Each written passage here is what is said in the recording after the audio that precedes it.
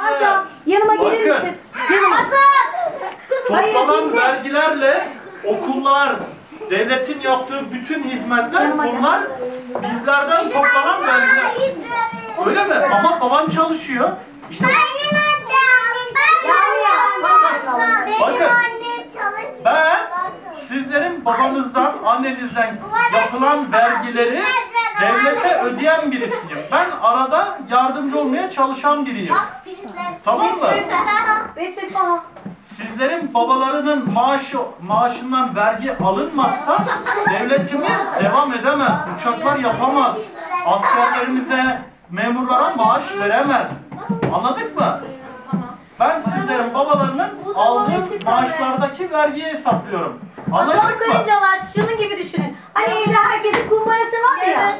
Biz paralarımız kumbaraya atıyoruz, biriktiriyoruz değil mi çocuklar?